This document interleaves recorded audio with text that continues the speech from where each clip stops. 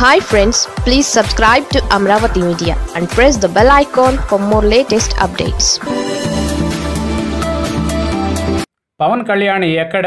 తెర వెనుక ప్లాన్ ఏమిటి? వీకెండ్ లీడర్ పవన్ కళ్యాణ్ మళ్ళీ కనిపించడం లేదు. వారానికి ఒకసారి ఏదో ఒక కార్యక్రమాన్ని రూపకల్పన చేసుకుని రాజకీయంగా ఉనికి చాటుకునేందుకు ఆయన ప్రయత్నిస్తున్న సంగతి తెలిసిందే. అయితే అలాంటి కార్యక్రమం కూడా లేనట్టుంది. దీంతో ఆయన పేరు వార్తల్లో కనిపించడం లేదు.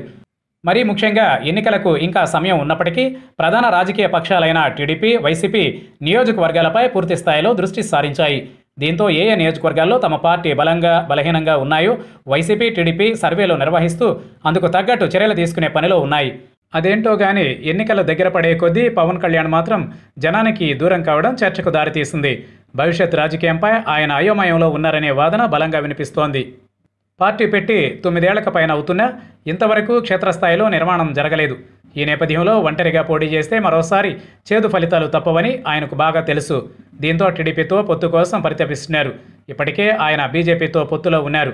టీడీపీతో పొత్తును బీజేపీ తీవ్రంగా వ్యతిరేకిస్తోంది. బీజేపీని కాదని ఆయన టీడీపీతో కలిసి వెళ్ళే పరిస్థితి లేదు.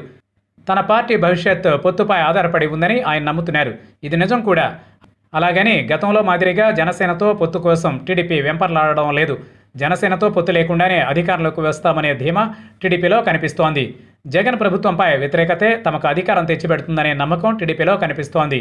జనసేనతో పొత్తు పెట్టుకుని అనవసరంగా కొన్ని సీట్లను త్యాగం చేయాల్సి వస్తుందని ఇది పార్టీకి నష్టం తెస్తుందనే భయం టీడీపీలో లేకపోలేదు.